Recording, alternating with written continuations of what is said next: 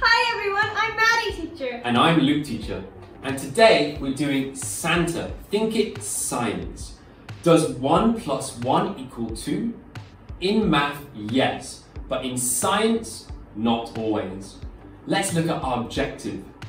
Predict the effects of mixing two ingredients. The ingredients we're mixing today are alcohol and water. Let's look at our question. What will happen when I pour one cup of alcohol into one cup of water? Maddie, what do you think will happen? Well, I think one cup plus one cup must be two cups. Hmm. You'd think so, Maddie.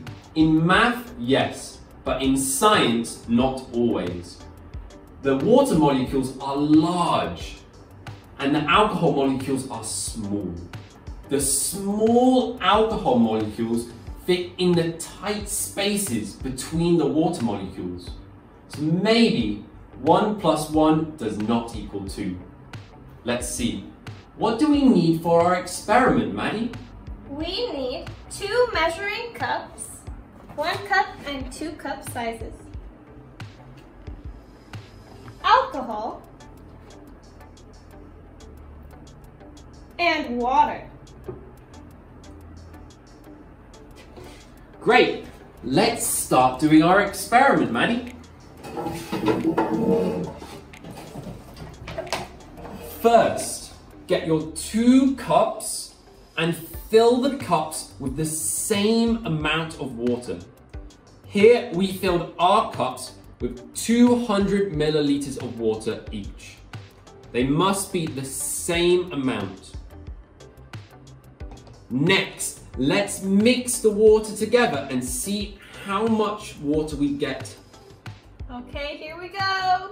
200 plus 200 equals 400. Good.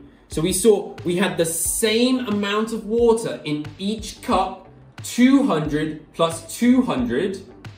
And when we mixed water with water, we got 400. So here, 1 plus 1 equals 2. Let's see what happens when we mix water with alcohol. Okay, let's get rid of this extra water. So everyone, empty the water from your cup. Make sure you empty all the water so there's nothing left in your cup. Next, fill one cup with 200 milliliters of water. Next, get your alcohol.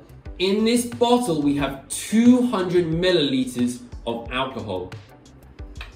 Okay, here we go. Let's mix them together. Wow.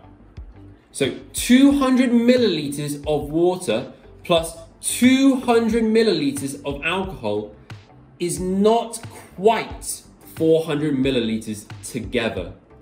Remember, remember, we mix them together and the alcohol molecules are smaller.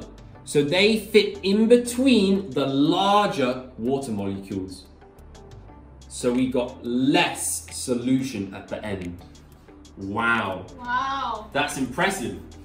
I hope you had fun with our experiment today, everyone. Bye. Bye.